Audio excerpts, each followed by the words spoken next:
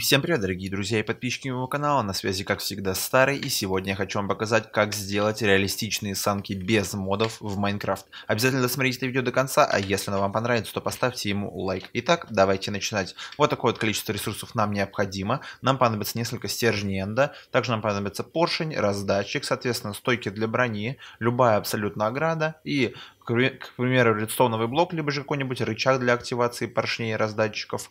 А, также блок снега, полублок, я взял, к примеру, еловый, вы можете взять на свой вкус, дубовая калитка и еловый люк. Итак, давайте приступать, ребят. Для начала нам нужно вырыть 2 на 2 блока то есть два блока в глубину, два блока в ширину и расположить там в горизонтальном положении несколько стержнев энда вот таким вот образом. Отлично, ребят. Затем мы вырываем здесь два блока и с одной стороны, с любой, либо с правой, либо с левой, также вырываем один блок. Сюда мы располагаем поршни вот таким вот образом, чтобы они у нас смотрели четко в центр. Затем на, здесь вот, ребята, на этих двух поршнях ставим сверху раздатчики и в них нам нужно, ребята, расположить как раз-таки наши стойки для брони по одной штучке. Отлично. Теперь, ребят, что нам нужно сделать? Нам нужно с одной стороны поставить а, булыжную ограду вот таким вот образом, активировать один раздатчик, который расположен около этого поршня. У нас вылетает стойка для брони, затем мы активируем сразу же поршень, чтобы наша стойка для брони стала четко, ровно и посередине. Отлично. Теперь, в принципе, булыжная ограда нам уже не понадобится. А, сюда также, ребята, заполняем обратно еще одну стойку для брони и активируем оба раздатчика. И у нас, ребята, появляется ровно посередине три стойки для брони. Теперь, ребята, что нужно сделать? Нужно убрать все вот эти вот а, механизмы и активировать вот эти вот два поршня. Затем, ребята, очень важное замечание, не ломайте сначала активирующий блок, а сначала вам нужно, ребята, сломать именно поршни. Ломаем поршни, затем ломаем активирующий блок. Как видите, мы сместили в одну четко сторону наши стоечки для брони. Отлично. Теперь, ребята, что нужно сделать? Нужно вот это все убрать, задекорировать, соответственно, под цвет земли. У меня это, соответственно, снег. И теперь, ребята, нужно сделать ту же самую конструкцию, сместить ее в другую другую сторону, только уже это все делаем немножечко повыше. К примеру, вот на таком вот уровне. Располагаем здесь по той же самой схеме поршни, затем на них ставим раздатчики.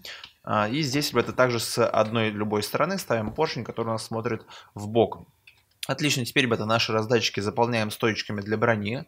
Все то же самое, все по той же, ребята, схеме. Также здесь располагаем булыжную ограду с любой стороны. Ну, соответственно, противоположную поршню. Активируем один раздатчик. Активируем поршень. Поршень у нас сдвигает, соответственно, нашу стойку для брони четко посередине. Ну и по той же схеме, ребята, мы активируем наши раздатчики для того, чтобы у нас вылетели две стойки для брони. Отлично. Теперь, ребята, убираем булыжную ограду. Здесь ставим несколько блоков, чтобы уперлись туда стойки для брони. Активируем наши поршня. Ломаем сначала поршня, а потом уже активирующий блок. Отлично. Теперь убираем все-все-все вот эти вот смогающие блоки, и, соответственно, наши стойки для брони падают четко в, в противоположную сторону от наших первых стоечек. Отлично, ребята.